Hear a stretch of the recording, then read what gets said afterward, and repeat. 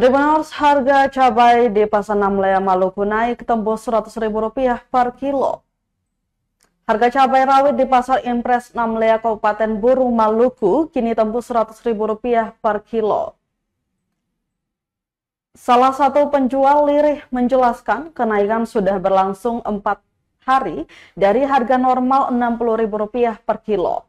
Menurutnya kenaikan terjadi karena pasokan menurun pasca banjir di sejumlah kawasan unit Sementara itu harga cabai keriting juga ikut naik, biasanya dijual Rp40.000 per kilo, kini menjadi Rp70.000 per kilo.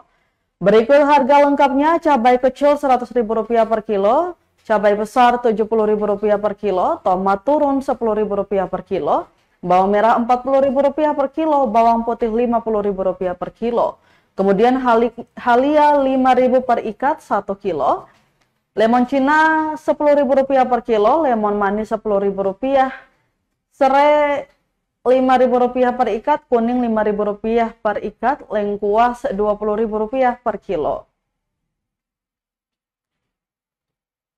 Ada wawancara?